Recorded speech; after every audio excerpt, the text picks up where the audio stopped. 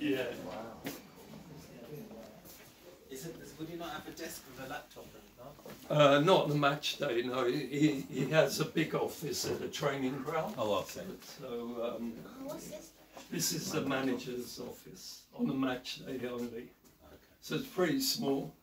If he's on good terms with the opposing manager, they come in and Oh, have a drink afterwards. So they stock this up when the season Yeah. starts.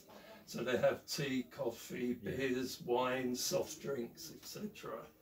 Um, and here is just um, pitch protection. So it just rem- if if you don't warm up in the right places before the game, you get fined.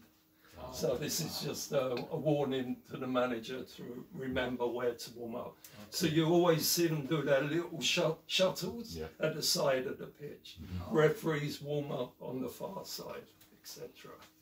Lovely. Okay. I never knew it was that serious. Today I learned something new.